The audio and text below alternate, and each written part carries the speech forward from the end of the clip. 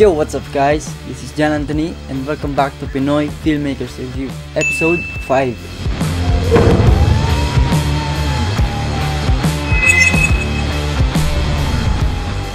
So kung di mo pa alam, ito yung video kung saan i-feature natin at i-review natin yung mga short films na gawa ng mga Pinoy filmmakers na talaga namang mga super talented at bilang isang aspiring filmmaker ay nakaka-proud. I know it's been a while since yung last episode natin. Ah, ano lang, siyempre, nagpahinga tayo, medyo nag-travel din, family time, pero andito na ulit tayo ngayon para gumawa ng mga content.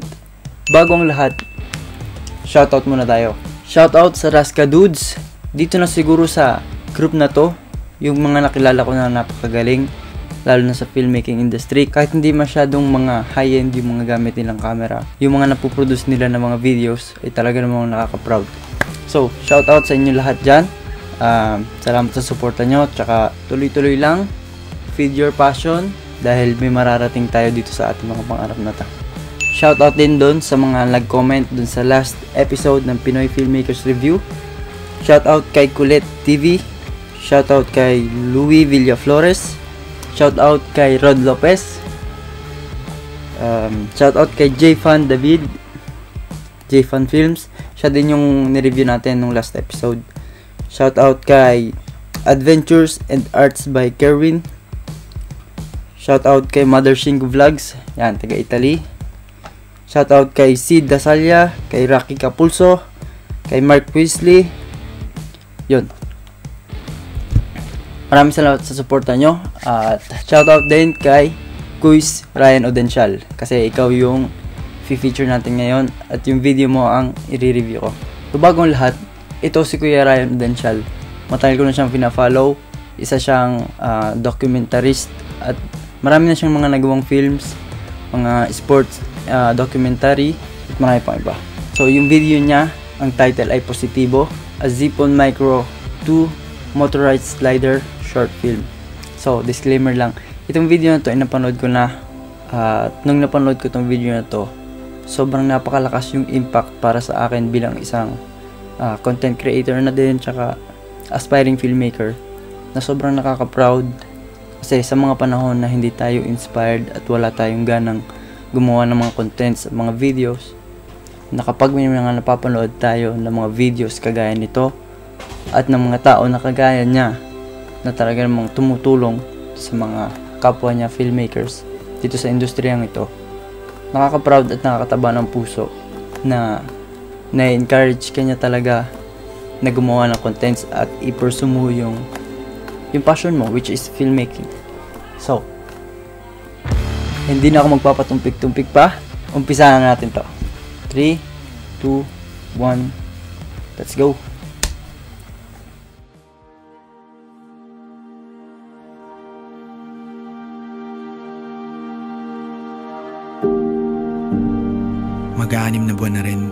Nagsimula ang pandemyang ito. At ilang buwan na rin akong walang trabaho at mga proyekto. Noong maayos at normal pa ang lahat, tanging ang kamerang ito lang ang inaasahan ko. Pero sa sitwasyong ito, talagang lugmok ang industriya ang kinabibilangan ko.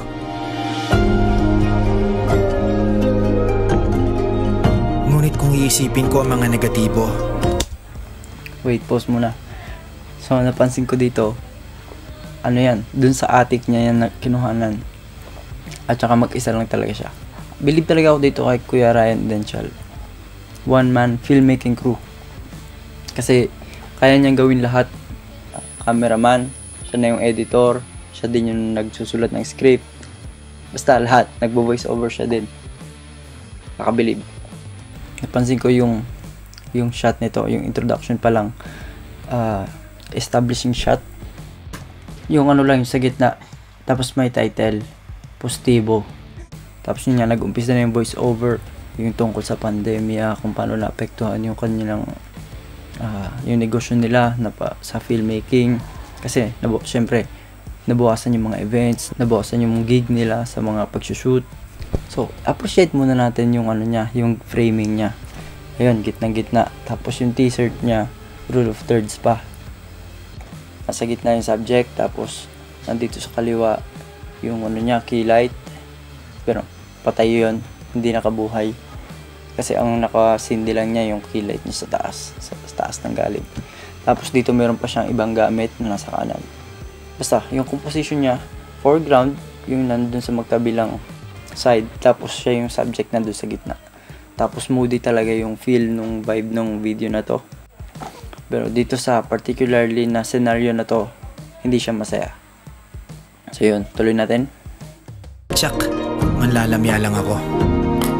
Ako na siyang inaasahan ng pamilya ko.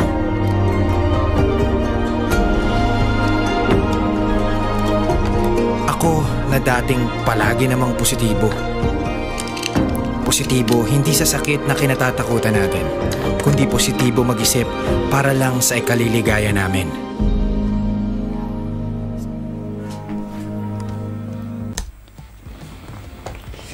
Bilib na bilib talaga ako dun sa mga framing niya, yung mga composition ng kanya mga shots. Isipin mo, mag-isa lang siya dun. Pero kasi may monitor nga siya para makita niya yung framing. Pero kahit na mag-isa pa mag-isa lang siya dun sa sa pagpi-film nitong video na to.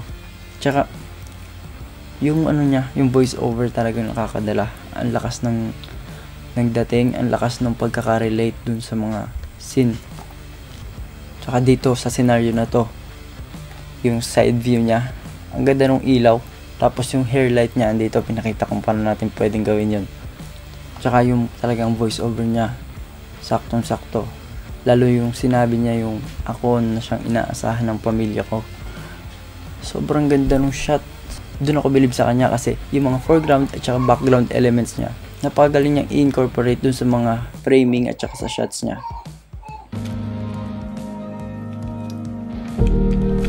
Buhol-buhol man ang mga problema ang aming nararanasan. Lalo namang tumitibay ang aming samahan.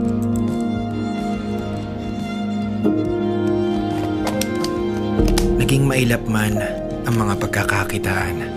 Nagkaroon naman ako ng napakaraming kaibigan.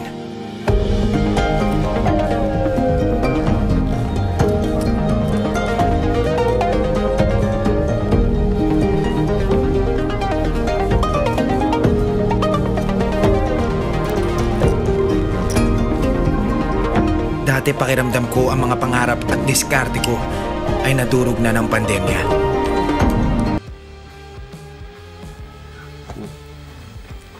Napakastig naman yung ano niya, yung gear niya, talagang yung team nitong video na to ay yung pagbubuo niya nung uh, nung gear niya na si Rhaegar. Napanood ko na yung video niya kaya alam ko yung pangalan.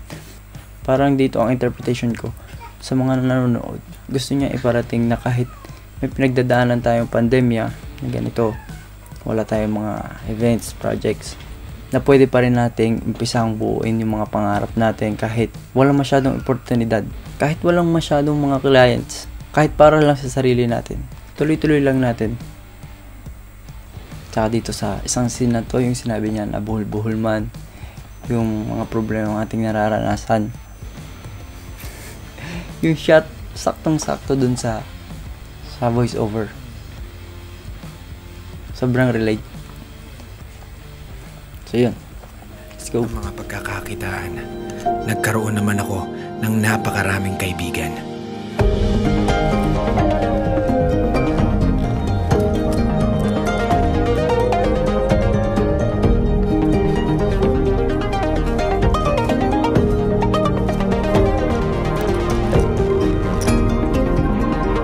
Dati pakiramdam ko ang mga pangarap Raska community, Raska dudes, shout out. Yun, isa ako dun sa member nitong group na to. Sana isa ako dun sa tinutukoy ni Kuya Ryan na naging mga kaibigan niya. Yan, tuloy lang.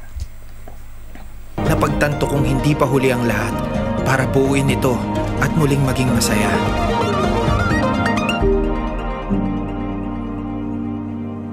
Ito ay alay ko sa mga kasama ko sa industriya.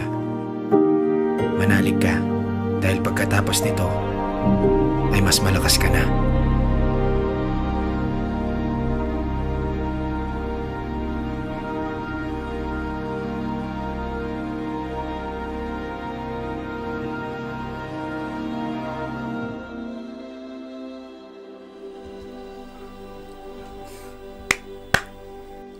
Napakalakas talaga ng impact nito para sa akin kasi bilang isang aspiring filmmaker, masarap sa pakiramdam yung isa sa mga iniidolo mo, yung isa sa mga taong sinusuportahan mo, eh sila yung mga nag encourage sa inyo, sa atin, na i-pursue natin yung passion natin na tuloy-tuloy lang. Lalo na doon sa last part na sinabi niya na ito ay alay ko sa mga kasama ko sa industriya. Manalig ka. Dahil pagkatapos nito, mas malakas ka na. Yung parang ganun yung sinabi niya.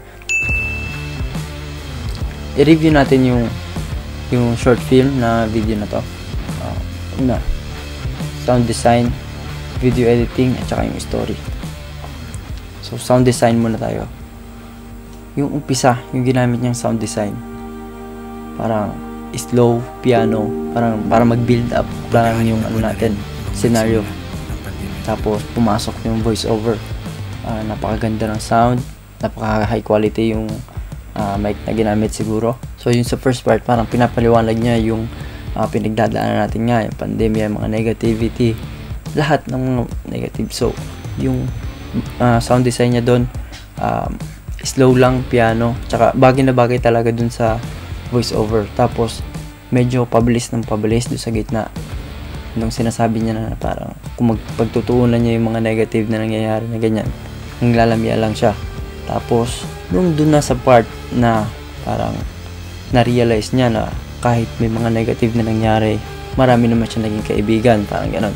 Parang medyo tumaas na yung level nung uh, yung sound design niya, medyo bumilis, may ano siya, may tempo. Hanggang tuloy-tuloy na yun doon sa pahuli. Hanggang sa binitawan niya na yung punchline, yung talagang main climax ng video. Sinabi niya dun sa huli na ito ay alay niya sa mga kasama niya sa industriya. So yung sound design, napagaling. Tamang-tama lang yung level niya kumpara dun sa voice over. Sobrang linaw mo pa rin maririnig yung voice over. Tapos yung background music sobrang linaw din. Video editing tayo. Hindi siya masyado gumamit ng mga fancy transitions. Puro cuts lang. Tapos puro slide lang. Dinaan niya lahat sa composition. Gumamit siya ng rule of thirds. Gumamit siya ng mga foregrounds at saka background elements. Kahit ang liit lang ng space niya, yung attic niya kung tawagin. Napakaganda ng mga shots. Halos lahat kasi normally kapag nag-shoot tayo, di ba? Napapansin natin, marami tayong mga shots. Tapos, may mga ibang shots tayo na mag-stand out kasi uh, sobrang ganda ng composition at saka sobrang ganda ng shot. Dito sa video niya, halos lahat ganun. Basta, ang ganda ng mga composition niya. Yung mga flat lay niya sa table, kakabilib.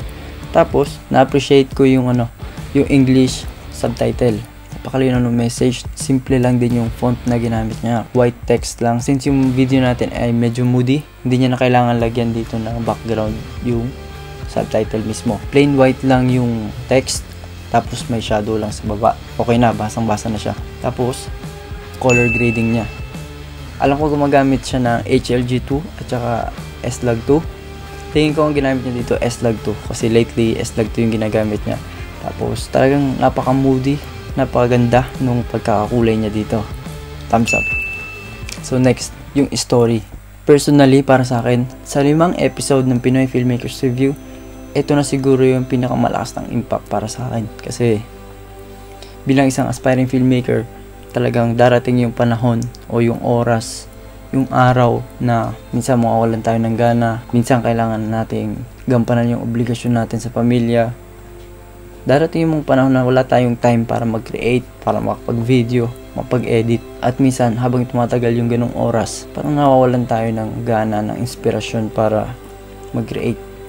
Pero, yun nga, nung napanood ko tong video na to, sabi ko, kailangan kong gumawa ulit ng mga videos. Kasi ito yung passion ko. Dito ako masaya. Maraming salamat dito Quiz Ryan Odensial kasi sigurado ako hindi lang ako yung na-inspire mo dito sa video na to.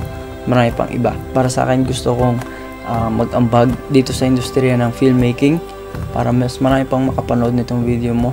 At sana ma-inspire din sila na ipagpatuloy yung passion nila dito sa filmmaking so balik tayo sa topic story ng video sobrang napapanahon. Ito talaga yung pinagdadaanan ng lahat. Kahit hindi ka filmmaker, ito yung pinagdadaanan ng lahat. Lahat apektado. Walang trabaho, nabawasan yung mga pinagkakitaan. At talagang lahat nahihirapan na siguro. Hindi natin alam kung saan kukuha ng, ng panggagastos natin para may pagkain tayo. Pero ano pa man yung hilig mo, ano pa man yung trabaho mo, kapit lang, tuloy-tuloy lang kasi pag natapos lahat to, mas malakas na tayo. Yun yung message talaga nitong video na to. At, at para sa akin, napakahalaga na marami makarinig nito kasi hindi natin alam kung ano yung pwedeng maging impact nito sa isang tao, sa isang tagapakinig na kagaya ko. So, yun. Sound design, video editing, at saka story. So, that is it for me guys. Maraming salamat sa panonood.